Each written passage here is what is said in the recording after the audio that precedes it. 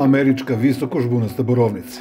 Done tako davno na ovim prostorima, ne samo da se nije gajala, nego je nije bilo ni u ponudi trgovaca voćem, a redki su bili i oni koji su je ikada okusili. A onda posle par godina probijanja i velikih lutanja u proizvodnji, o kojoj gotovo niko, gotovo ništa nije znao, od severa do juga, od istoka do zapada države, počeli su da niču specifični zasadi ove zdrave, ali i beskreno ukusne bobice. Uprkos nemaloj ceni na tržištu svežeg voća, domaće stanovništvo, pogotovo u većim urbanim sredinama, rado je uvrstilo u svoje potrošačke navike, a izvozni bilansi srpskog agrara dobili su novi adut. Koliko je taj adut snažan, najbolje svedoči statistika, a ona kaže da je 2016. samo pre 5 godina izvoz borovnice iz Srbije bio vredan 2 miliona evra, da bi prošle godine narastao na 20, a u ovoj i još koji milion preko toga. Ipak, ovaj munjeviti trend borovnice mnogima koji su ušli u njenu proizvodnju ili to bar planiraju, unosi i određene strepnje. Imali razloga za to.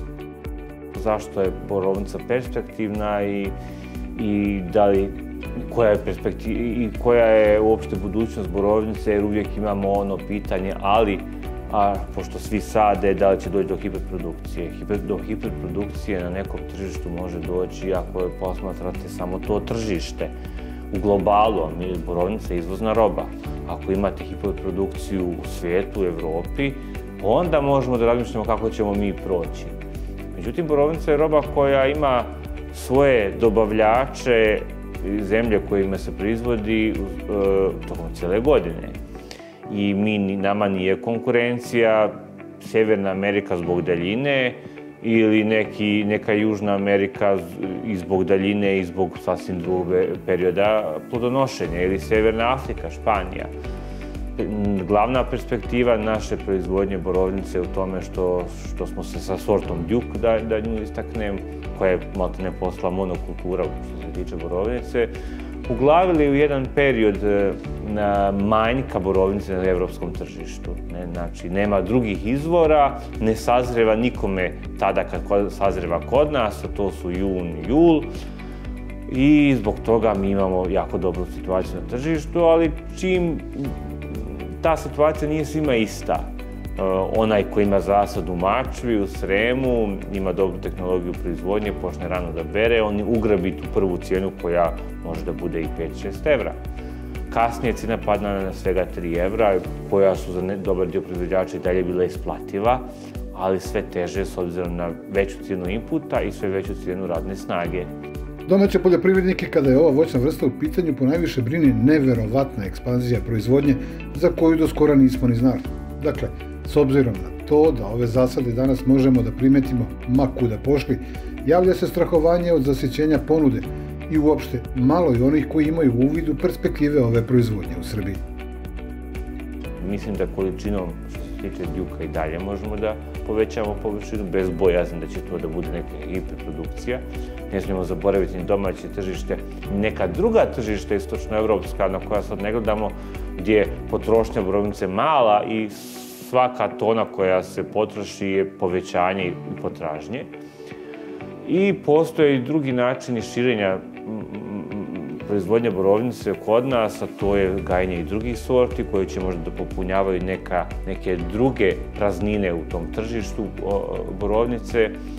No, još dugi niz godina ćemo imati dobru poziciju, ali kažem, treba otvorati druga tržišta Međutim, stručnjaci poput profesora Nenada Magazina smatraju da za osvajanje tih novih perspektiva trenutno nismo spremni, pošto je produkcija borovnice kod nas oslanjena gotovo potpuno na samo jednu sortu.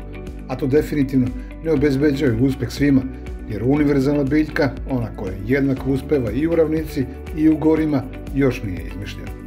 Ako imate položaj koji favorizuje ranostasnost, sadite rane sorte i tu ne treba da idemo dalje od juka dok se ne nađe neka sorta koja je koja je može parirati po ranostasnosti i da ne zaboravimo istovremeno po otpornosti na niske temperature, odnosno na mrazeve, koja kasno cvjeta i tako izbjegava mrazeve. Što se tiče lokaliteta na višim planinama, nema smisla tamo saditi djuk. I tamo se sadi djuk jer su svi čuli da, da je djuk najpopularnija, najbolja sorta. Ne, ona nije najbolja sorta zbog svojih agronomskih osobina. Ona je najbolja sorta jer svojim ranim sazrevanjem možete uspješno da je prodate po višoj cijeni, ali nećete je rano brati ako imate 800 metara nadmorsku visinu. Posadite neku sortu kasniju, berite krajem augusta u septembru kad cena i na domaćem tržištu raste, a količinom, ako budemo to prevagnuli, možda ćemo moći da izvezemo značajne količine tih kasnih sorti na neka druga tržišta. Ono što, što nedostaje definitivno malo znanja i o tim drugim sortama, ponude sadnog materijala drugih sorti i ono što proizvođači treba također da imaju na umu. Lako je onome koji ima sortu Duke i prvi u, u nekom kraju ima berbu. Od njega se oni koji otkupljuju, otimaju. A svi oni ostali koji su mali, sitni, koji imaju razvođenu proizvodnju, koji imaju neku drugu agroekološku uslov, treba da razmišljaju o aktivnoj prodaji.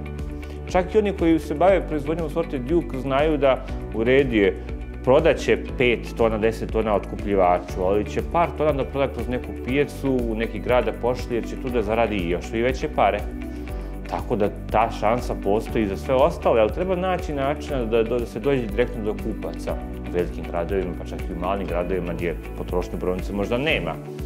Društvene mreže su vrlo ozbiljan danas alat kojima se vrlo lako pristupa do krajnjih kupaca koji vole neposredan kontakt sa proizvođačem, i mnogi su u različitim segmentima voćarstva, oko stonog voća, od trešnje do jabuke, uspjeli da od toga da godišnje pa desetina kila prodaju tako, da dođu do nekoliko stotina ili nekoliko tona prodatog voća koje prodaju po istoj cijeni po kojoj se prodaje na nekoj pijaci, što znači da su oni svu onu razliku u cijeni koju u gradnju cijeni koju od, potro, od proizvođača do potrošača imate, obično oni uzeli sa sebe.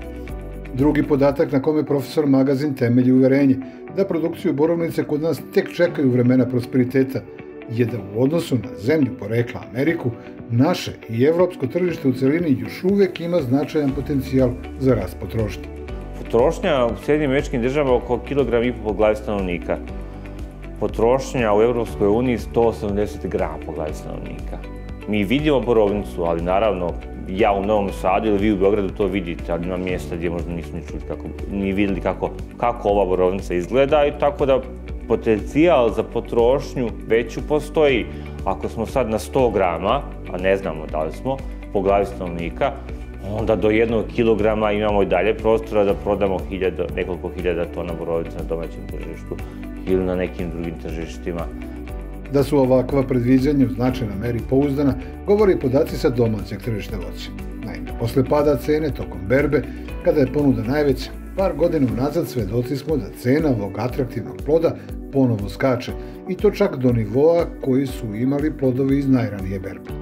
To je za eksperte nesumnjivi znak da tržište pokazuje dugoročnu tražnju. Farmeri koji su u stavnoj trci za što ranijim berbama to još nisu prepoznali, pa to i jeste razlog zašto sorta Duke još uvek dominira našom proizvodnjom borovnice. Ma koliko nam dobra donela i koliko ona sama bila kvalitetna, zbog svoje renostasnosti, ona definitivno trenutno stoji na putu razvoja produkcije borovnice u svim krajevima Srbije.